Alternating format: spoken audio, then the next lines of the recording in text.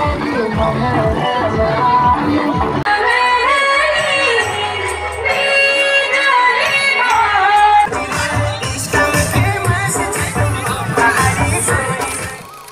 Hello hi नमस्कार और पहला स्वागत है आप सभी का एक नए ब्लॉग के साथ। आशा करती हूँ कि सभी लोग बढ़िया होंगे और मज़े में होंगे।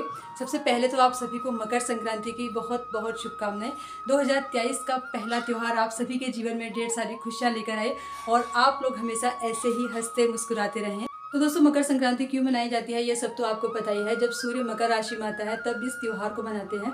हर साल 14 या 15 जनवरी को ही मनाया जाता है और इस बार की मकर संक्रांति 15 जनवरी को पड़ रही है।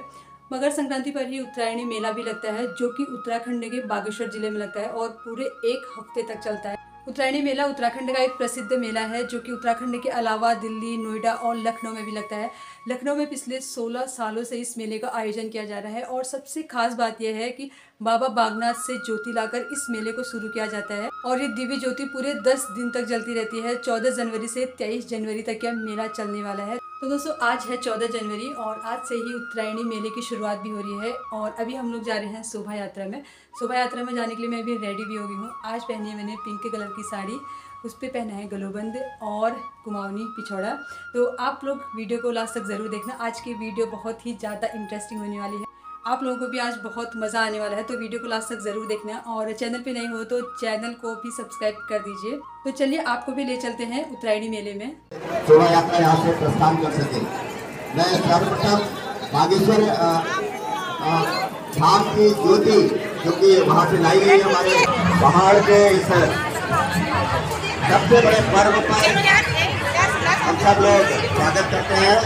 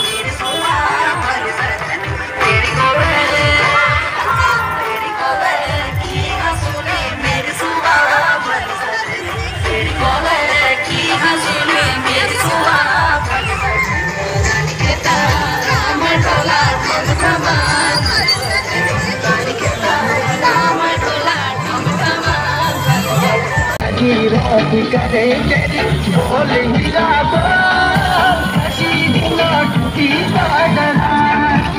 ओलिटी अगर प